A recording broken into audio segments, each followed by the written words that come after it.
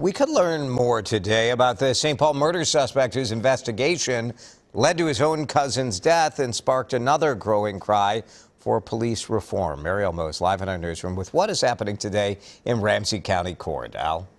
Well, Jason, we know that Mekhi Speed is appearing in court today for the first time since his arrest in Winona last week. He's going to be in court today for reasons unrelated to his re recent murder charges, but we're hopefully learning more about his criminal history here. Speed is the suspect named in the warrant that prompted the police raid earlier this month where Amir Locke was shot and killed. Now, going back to where this case all started last month in St. Paul, police believe Speed was involved in the shooting death of 38 year old Otis Elder. Police say the getaway car used in this murder is tied to other crimes around the Twin Cities.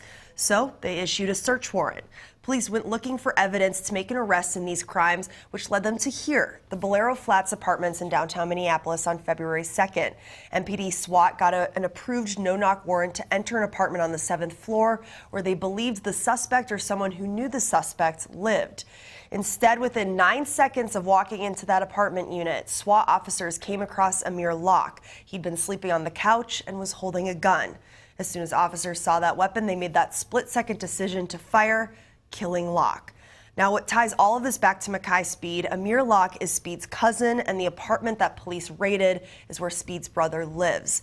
Again, we expect Speed to be in Ramsey County Court today. We also learned that Amir Locke's funeral is happening this Thursday at Shiloh Temple in North Minneapolis, and we're told Reverend Al Sharpton will be giving the eulogy.